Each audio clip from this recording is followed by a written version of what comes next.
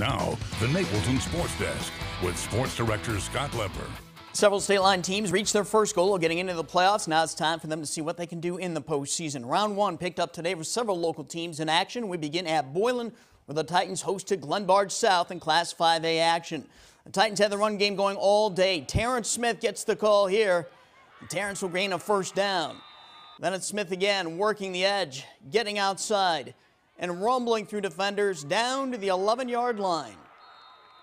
Quarterback Jake Bergstrom would take over from there. He keeps the ball up the middle and goes into the end zone unharmed for an eight yard touchdown.